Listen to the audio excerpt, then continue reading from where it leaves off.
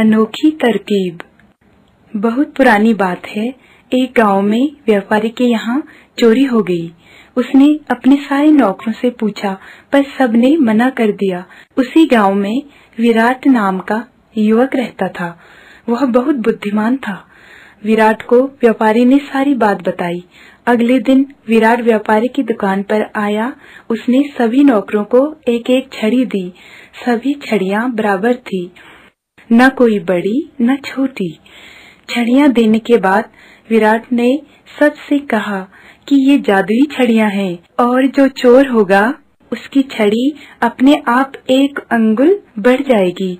यह कहकर उसने सबको घर जाने को बोल दिया और कल आने को कहा। रमेश जिसने चोरी की थी, वो घर जाकर सोचने लगा कि कल उसकी चोरी पकड़ी जाएगी। उसने तुरंत लकड़ी, एक अंगुल छोटी कर दी और आराम से सो गया। अगले दिन विराट ने जब सारी छड़ियाँ देखी तो रमेश की छड़ी, एक अंगुल छोटी निकली।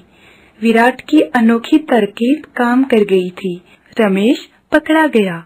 उसे अपने किए पर पछतावा हुआ और उसने चोरी किया हुआ सारा सामान वापस कर दिया। चोरी करना एक बुरी आदत है।